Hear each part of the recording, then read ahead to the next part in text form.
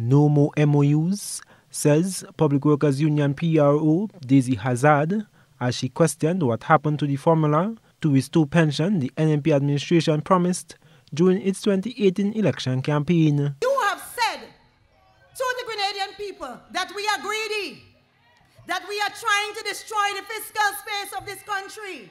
What you did in 2018, rather than come with a formula, rather than reinstate the pension, you sat in our parliament and you reviled us. You sat in our, in our parliament and you poured scorn on our heads. Following the 2018 elections, Hazzard says the unions and public officers were instead ridiculed. And we know that silly season is soon going to come around.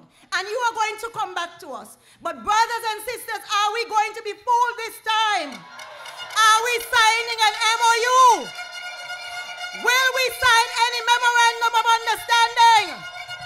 The trade unionist highlights that public sector unions held on to their stance of being honorable despite the bashing by critics for doing the proper thing. They proved themselves to be a dishonorable bunch of rogues in our country. They proved themselves to be men and women with little integrity, comrades. They prove that their words cannot even be trusted. And that is why, in our present 4% struggle, when they came to the table and offered us bonds to mature in 2021, we said no thank you. The PWPRO made mention of several public officers who have retired without pensions and have had to struggle to make ends meet. I am Gerard Joseph for GBN News.